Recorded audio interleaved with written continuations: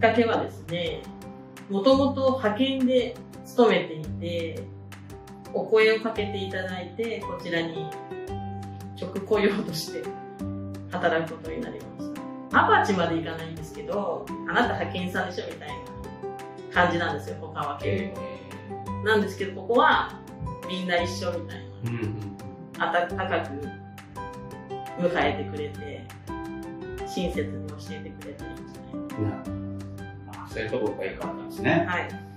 いい話だな。その主流として、まあ、働かれてる時に、なんか気をつけてることってありますか？やっぱり一人の人のことを聞かないで、一個の問題について、二人が関係してたら、両方の話を聞いて、解決してもらう。